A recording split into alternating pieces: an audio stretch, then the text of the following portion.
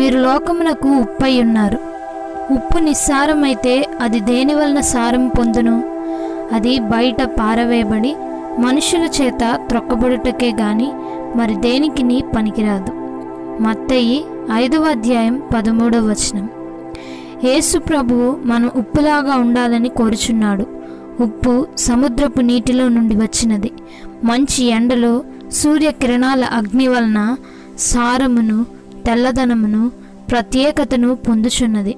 మనపై క్రీస్తు యొక్క వెలుగు పరిశుద్ధాత్మ అగ్ని ప్రభావమును చూపినప్పుడు మన పాపముల నుండి మనం కడుగబడి పరిశుద్ధతను నిస్సారమైన జీవితం నుండి విడుదల పొంది సారవంతమైన సంతోష సమాధానములతో కూడిన బ్రతుకులను పొందెదము.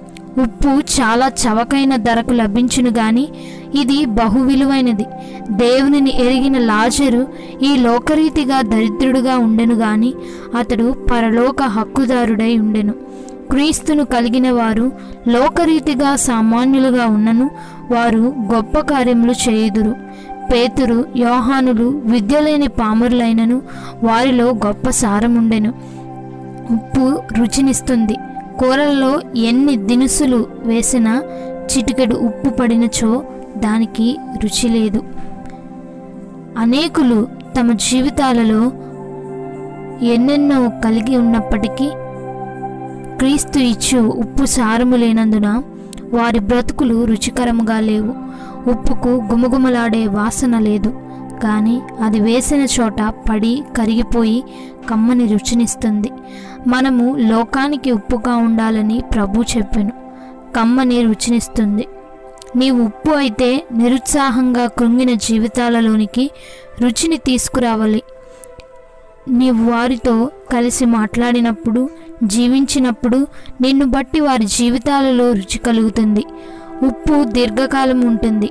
ఒక సెంటు లేక స్ప్రే చల్లినప్పుడు గుప్పున వాసన వచ్చి కొంచెం కొంచెం తగ్గి చివరకు వాసనే ఉండదు.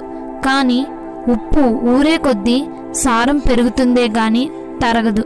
అందుకే ఊరగాయ లాంటి పచ్చళ్ళలో ఒకేసారి ఉప్పు వేస్తారు కానీ రోజుకొకసారి స్ప్రే చల్లినట్లు చల్లనవసరం లేదు.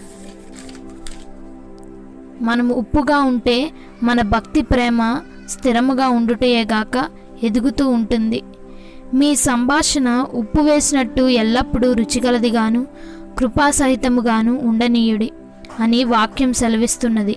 మనం సంభాషణలో సారము ప్రేమ కృప కలిగి ఉండాలి.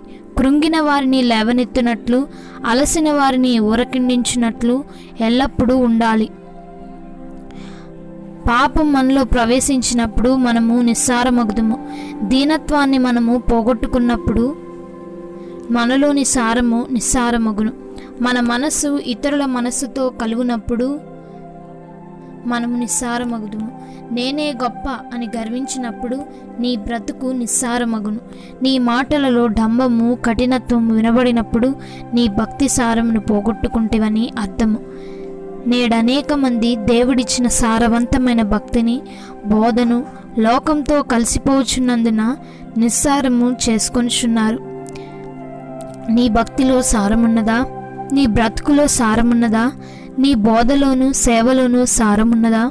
పరీక్షించుకొనుము. ప్రతి వానికి సారము అగ్ని వలన కలుగును.